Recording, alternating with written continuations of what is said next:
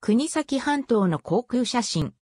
良子山を頂点に海に向かって放射状に山系が広がる。足引山、良子寺六号万山は大分県国崎半島一帯にある。寺院群の総称である。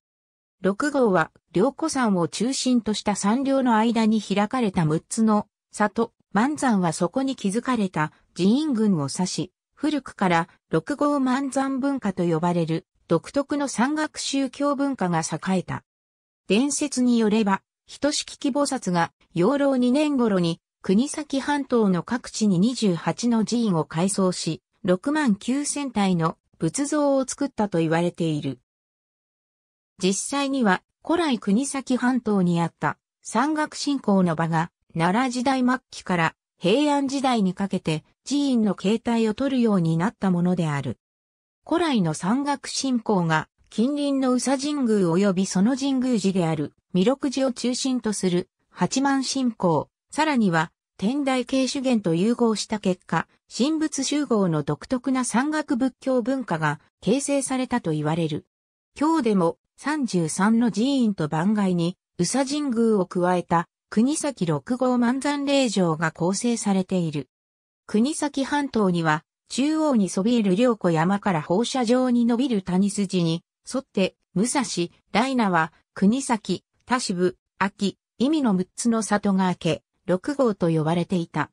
また、国崎半島の寺院群は、学問をするため元山、修行をするための中山、布教をするための末山の3つの群に分けられ、これらは合わせて万山と呼ばれていた。このことから、国崎半島の寺院を総称して、六号万山と呼ぶようになった。八幡信仰と天台主元が融合し発達した国崎半島独自の宗教文化。国崎半島の大部分が宇佐八幡の荘園だった奈良、平安時代に八幡宮や神仏集合の六号万山寺院が多数建造されて得意な宗教文化が生まれ、平安末期には国崎半島だけで約千の伽藍があったという。その後時代が下るにつれ、鎌倉仏教系、禅宗系、浄土真宗系寺院への転校や建立がなされ、独特の伝統行事や習俗文化が育まれ、今に引き継がれている。国宝の復帰時王道に代表される平安建築や熊野間外物をはじめ、六号万山文化が最盛期だった平安時代の古物や石窟など石像美術も多く残る。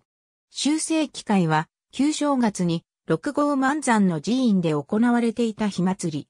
この行事に登場する鬼は、悪鬼ではなく、祖先が姿を変えたものとされる。現在では、天音年寺、成仏寺、岩戸寺の三つの寺で行われている。国の重要無形民族文化財に指定されている。六号万山には政治には65の寺院があったとされ、寺院の目的から本山、中山、松山の三群に分類され、本寺は多数の松寺、松棒を持っている。この分類自体は古代から存在していたが、全体像が確認できる資料としては、安定2年の六号山諸言行、書道役斎藤目録写しや、建武4年の6号山本中松寺次第4イタリ島注文案が挙げられる。